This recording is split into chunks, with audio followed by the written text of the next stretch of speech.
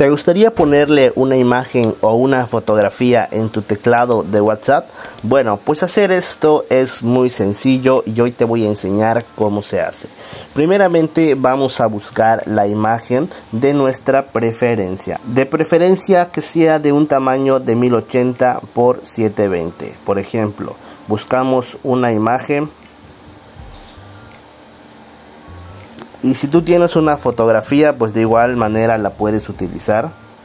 Pero de preferencia que sea de este tamaño para que se vea bien. 1080 x 720. Y como puedes ver ya vienen con estos tamaños. Y podemos seleccionar pues la imagen que más te guste. En este caso voy a seleccionar esta voy a descargarme esta imagen y te comento si tú tienes una fotografía también puedes utilizarla. Yo voy a utilizar esta imagen y vamos a regresar a nuestro whatsapp y vamos a darle en el símbolo de configuración del teclado que tenemos en medio.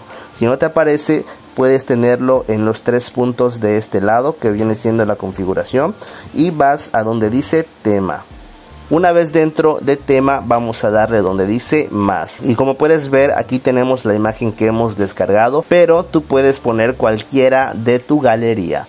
Yo voy a seleccionar esta imagen y la voy a centrar y la puedo alejar un poco para ajustarle el tamaño y ya que ya la tengo centrado ya la tengo como quiero le voy a dar siguiente como puedes ver podemos ajustarle el brillo tú puedes dejarlo como más te guste yo en este caso lo voy a poner al 80%, ok. Y le voy a dar listo. Después nos va a preguntar si queremos los bordes en las teclas. Si lo deseleccionamos, fíjate qué pasa.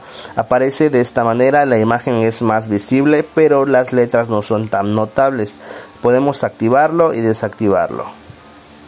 Como puedes ver, hacer esto es muy sencillo y una vez que tú ya tengas tu imagen lista y seleccionado los bordes o sin bordes, le vamos a darle a aplicar y como puedes ver ya tenemos nuestra imagen en nuestro teclado. Si no te gustó, únicamente le das clic en configuraciones nuevamente, entras a tema y ya puedes cambiar la imagen que tú quieras y listo. Espero que te haya servido esta información. Si es así, me ayudaría mucho que le des like, que te suscribas al canal y que actives la campanita de notificaciones. Si estás en Facebook, me ayudaría mucho que me sigas y que compartas. Yo soy Osdo y nos vemos en la próxima.